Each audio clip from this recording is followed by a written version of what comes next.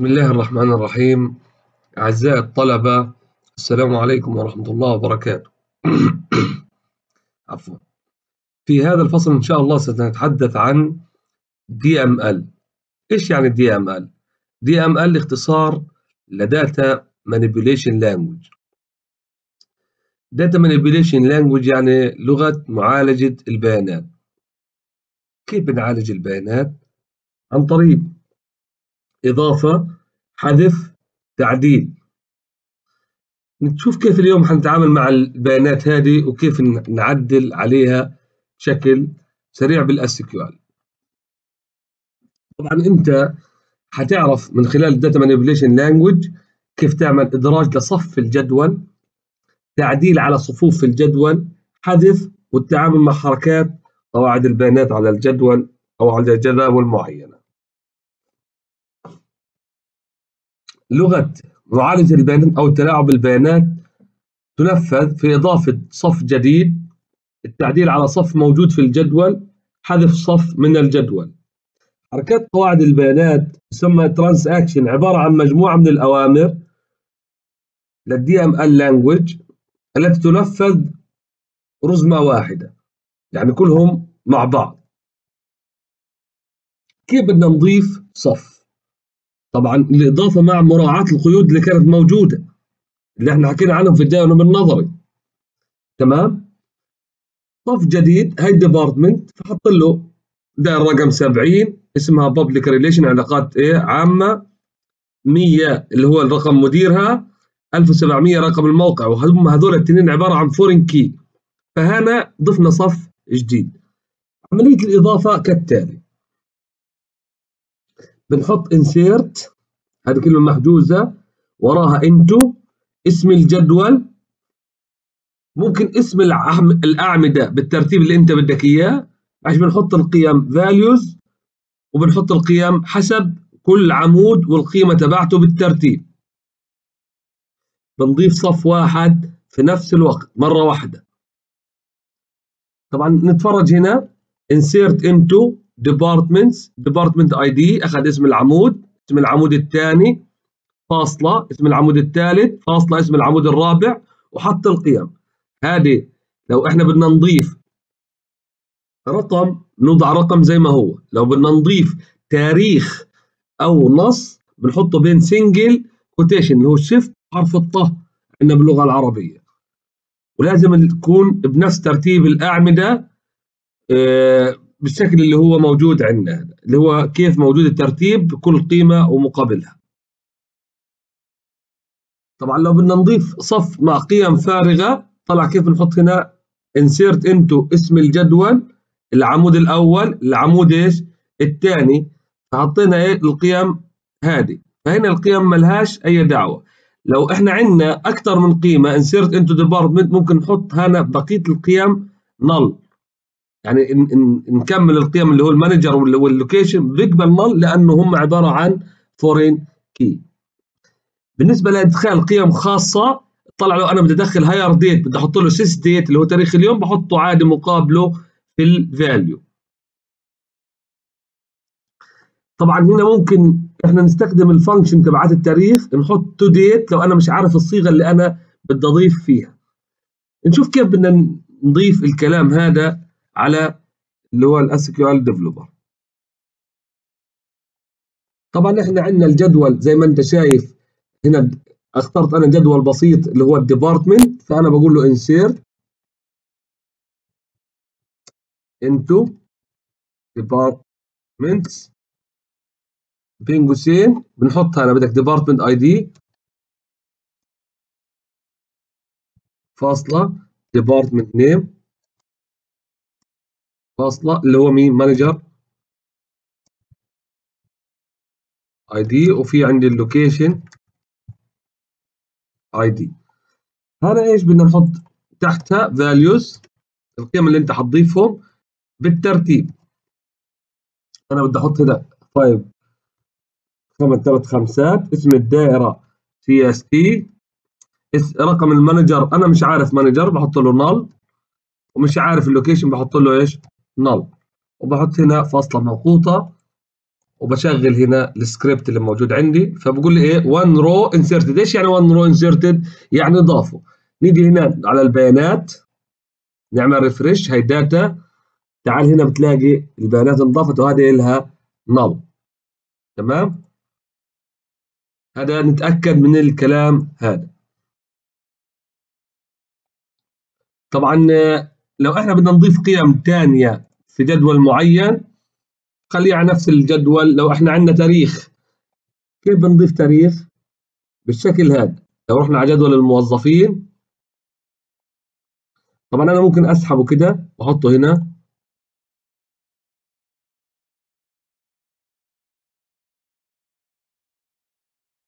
شايف كيف؟ بقول له أنا بدي اعمل إيه؟ insert وتطبيق. فبقول لي الجملة لحالها انكتبت. شايف كيف؟ إنه أنا حملته تمتني أصعب زر الماوس الأيسر وجبته هنا وقلت له لما ندخل وقلت له أنا بدي اعمل insert فقال لي employees حط لي إياهم كلهم values حط لي إياهم أنت القيم أنت دخلها. طبعا أول value بدي أحط له إياها أنا رقم الموظف نختار رقم ليش اختار تسع تسعات؟ لأنه الرقم الموظف عندي primary key بخاف يتكرر. تمام؟ اسم ال first name بدي أحط له حرف ال A اللي طبعا هنا هنا الترتيب أنا بدي أعرفهم ال last name حرف ال B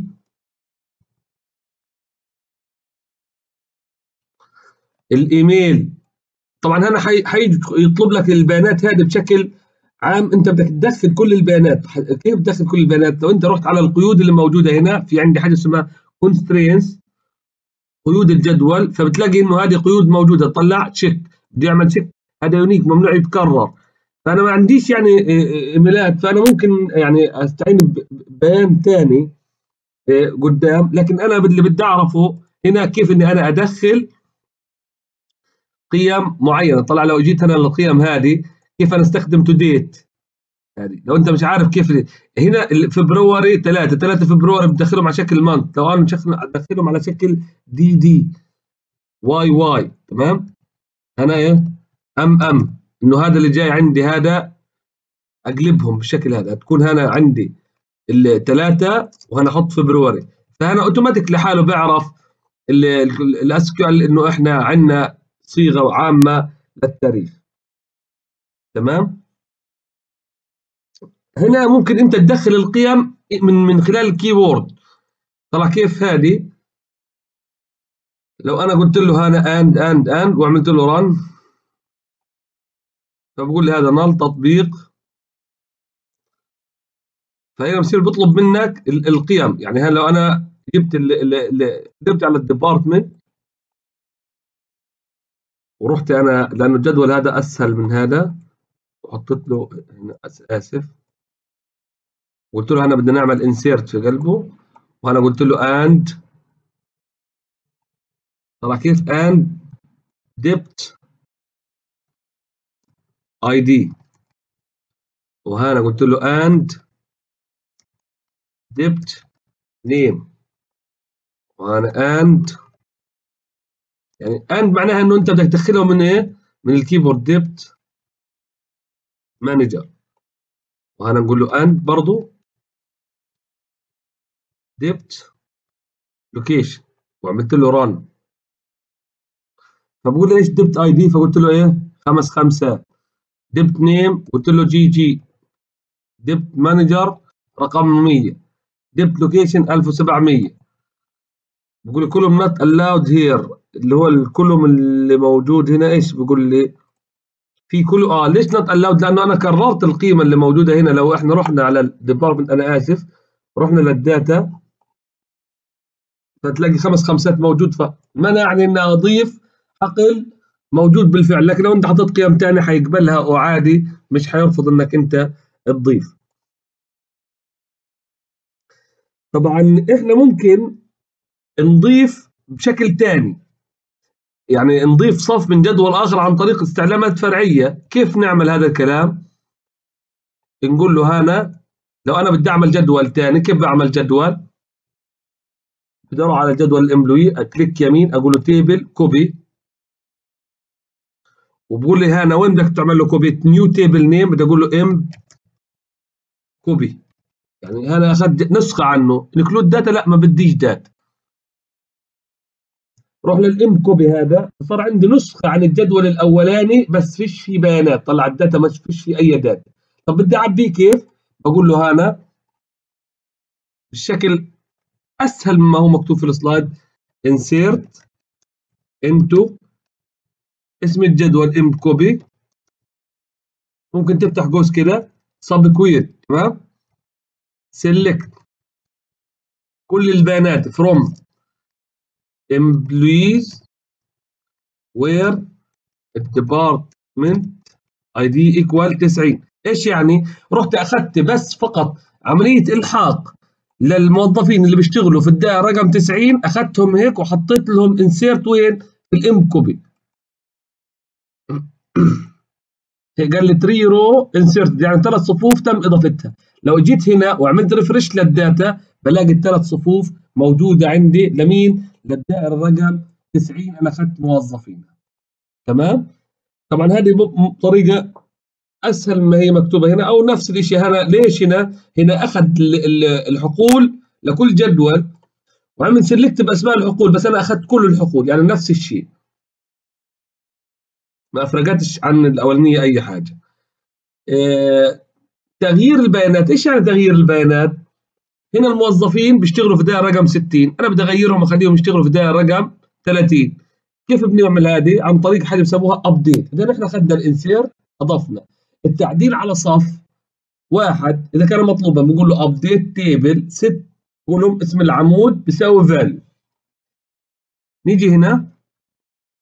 على الجدول اللي إحنا عملناه هذا جديد اللي اسمه emp copy نعمل update emp copy set إيش عاوز؟ set يعني ضع قيمة يعني assign قيمة. لو إحنا قلنا له ال department ID بتساوي 80 فكرك إيش بيصير هنا؟ هنا بروح على الجدول ال emp copy بعدل كل ال department 80 ال department ID كلهم بخليهم 80 لكن لو أنت استخدمت شرط قلت له where ال employee ID بيساوي نشوف البيانات اللي عندنا في emp copy employee ID اللي عندنا للموظفين. رقم 101 فقط 101 بتدنقله على دائرة ثانية فأنا بقول له هنا بقول له where employee ID equal 101 اذا وعملت run لهذا قال لي 1 row updated صف واحد اتعدل. طب أشوف اتعدل ولا لأ؟ أعمل refresh لل data عندك. 101 اللي اسمه نينا هذا. وين صار يشتغل؟ كان يشتغل في 90 زيهم. صار يشتغل إيه؟ في 80 تمام؟ وممكن بالعكس إحنا نقول له هذا نعدل آه مش ال department ID؟ نقول له employee ID بيساوي نخليناه 80 خلينا رقم الموظف أربع ثمانيات أو ثلاث ثمانيات where ال department ID بيساوي إيه؟ 80 يعني نروح على رقم الدائرة 80 خلي رقم الموظف تبعها يساوي إيه؟ 8 ثلاث ثمانيات قال لي one row updated تعال هنا. كان هو إيه؟ 101 عملت له refresh صار؟ ثلاث ثمانيات هذه اللي هي ال update على ال column. لازم 1 row لو فيش where بعدل كل الجدول. دير بالك من النقطة هذه. حركات على قواعد البيانات. الحركات الموجودة إيه واحدة من جمل تعريفات البيانات واحدة من جمل لغة التحكم في البيانات. نشوف إيش يعني الحركات الموجودة. في عندي تبدأ حركات قواعد البيانات. طبعا نبدأهم واحدة واحدة. تبدأ حركات قواعد البيانات عند بدء أول عملية إضافة أو تعديل أو حذف. يعني لما بعمل إضافة أو حذف أو تعديل تبدأ حركات البيانات. طبعا إحنا الحذف ما خدناهوش. أشوف موجود هنا موجود الحذف بس نيجي نراجعهم هاي تنتهي حركات قواعد البيانات في أي حالة من الحالات التالية. في عندي تنتهي إيش يعني؟ بقدرش أتراجع عنها. يعني التأكيد.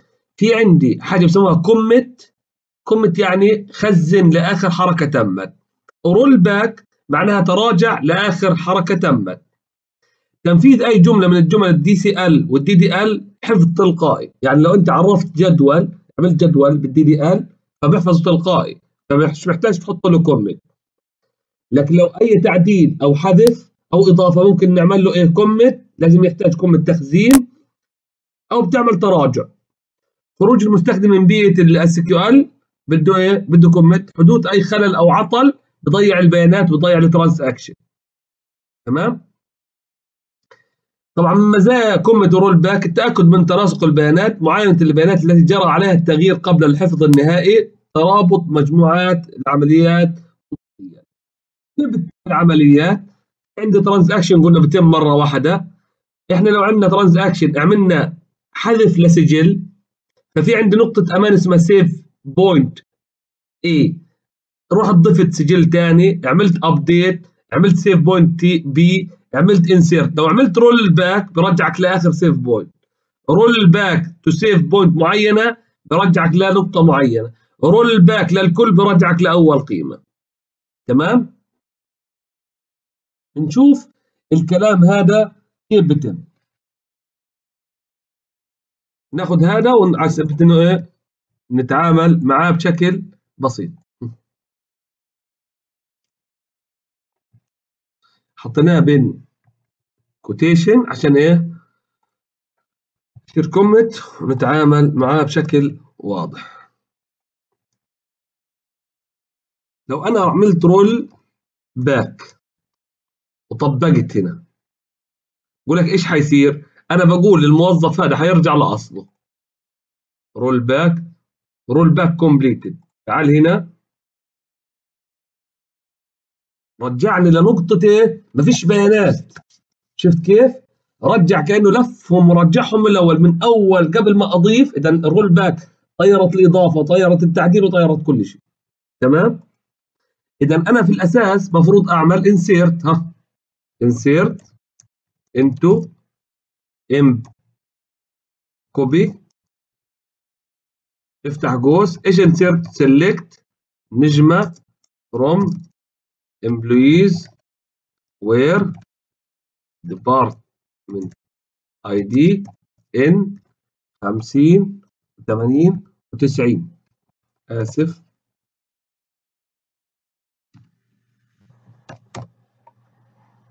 نروح نحط end كده. 50 80 90 بالشكل هذا أصلا منقوطه عملت لهم إيه؟ insert. Missing right parenthesis بده قوس زيادة. Parenthesis يعني قوس طب لو أنا حطيت insert هنا وحطيت home وقلت له أنا إيه؟ أنا بدي أتأكد إنه أنا عندي save point. Save point. إيه. تمام؟ عملت insert insert هاي 80 row طيب. لو أنا عملت rollback إيه؟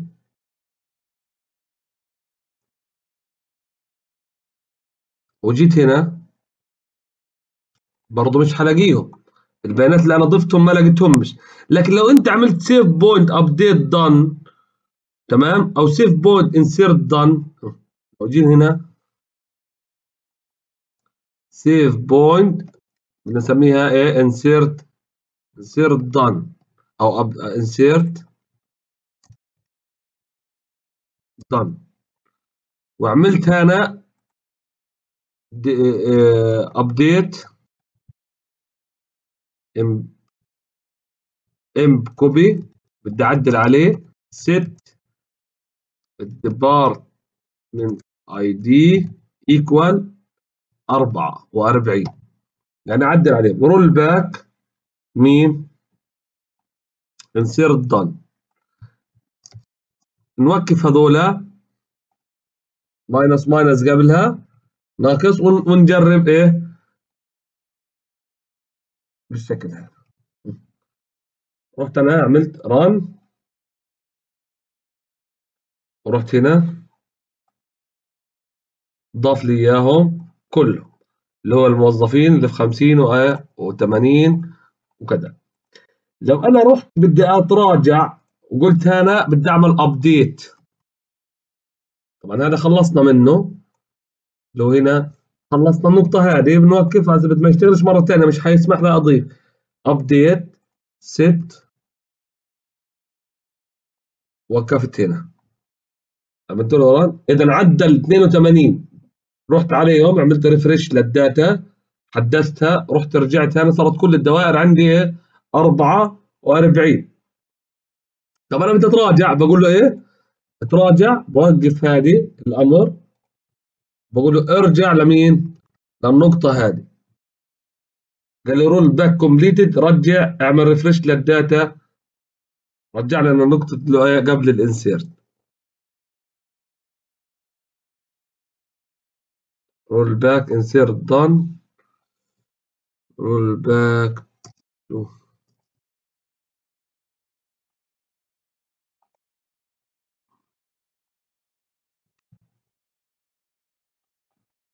عرفنا كيف بتصير هذه. rollback to update done بيرجع لك إيش؟ لل update قبل ال insert تمام؟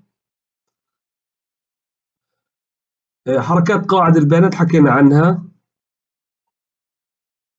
طبعا هذا بنستفيد منها يعني إنه تأمين الصفوف وكذا. طبعا حنرجع لها حالة البيانات بعد الحفظ حتم لاخر نقطة savepoint x نقطة اللي هو تكرار للبيانات أو نقطة آمنة للبيانات. في ال delete ال delete معناها بدي أحذف صف أو أكثر. طلع delete from employee where ال employee id equal كذا بحذف صف. تمام؟ insert بتضيف. عمل comment كيف بنحذف صف هنا؟ نرجع نعمل insert هنا؟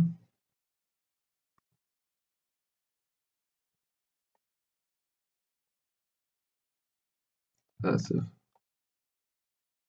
عشان أنا بدي أحذف موظفين معينين من الموجودين عندي فأنا حطيت جدول وهي الجدول موجود عندي بالشكل هذا. طلع 100 هذا بدي أحذفه. كيف أحذفه؟ فبقول له هنا delete from employees where الشرط employee id بيساوي 100 لو قلت له run إيش بيقول لي هنا؟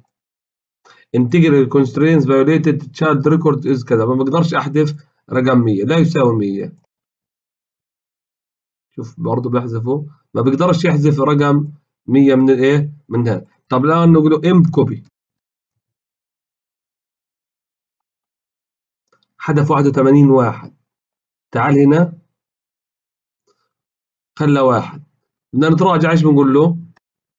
roll. rollback.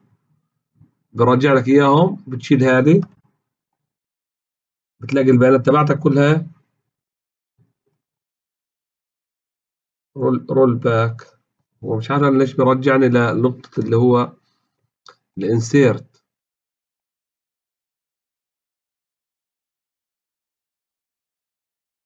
تمام؟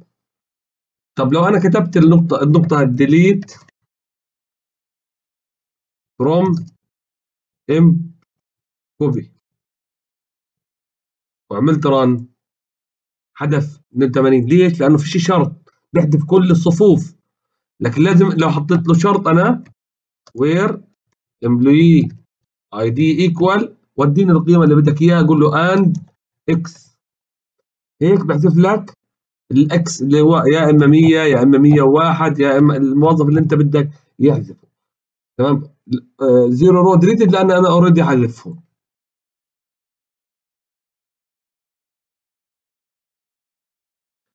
طبعا في عندي حاجة اسمها commit طلع لو هنا طبعا هنا insert وحطيت إيه؟ commit وعملت run لو عملت هلا rollback قد ما بدك. ارجع. هاي البيانات موجودة. إذا إيش اللي بقصده أنا؟ ال rollback يا أستاذ بترجع لآخر commit اللي أنت عملته. إذا إحنا كنا ناسيين نحط commit في عملية ال insert يعني اعمل insert وحتى لو بدك تعمل update أو تعمل اللي أنت بدك إياه اعمل update savepoint حط له إيه وراها؟ commit يعني هنا بدك ما تحتاج إنه commit إنه تخزن البيانات اللي أنت بدك إياها. طيب. في عندنا تطبيق على قراءة التنسيق. نيجي هنا نشوف إيش بقول في ال slide آه، إحنا فهمنا إنه إحنا بنشتغل على user اسمه HR تمام؟ وهذا بقول لك إنه يعني إحنا إنه نوضح كيف إنه ال data block اللي عندنا البيانات بترجع لآخر commit عندنا. طب كيف إحنا اللي موجود عندنا؟ إنه موجود عندنا user A عمل update employee set ال salary 7000 where last name equal Grant عمل له update هذا عمل select نجمة from user A dot employee يعني بده يقرأ البيانات اللي عدل عليها. فما بيقرا بيقدرش يعدل على البيانات إلا لما يعمل إيه هنا إيه block لل data عسبت إنه ياخذها يعني ما يصيرش عندي البيانات inconsistent هذا بده يعمل تعديل وهذا بده يعمل read فبعدل ومن ثم إيه؟ بقى تمام؟ بعد الانتهاء من هذا الدرس يجب أن تكون قادرا على التعرف على جمل لغة DML data manipulation language التعرف على حركات قواعد البيانات بشكل بسيط جدا.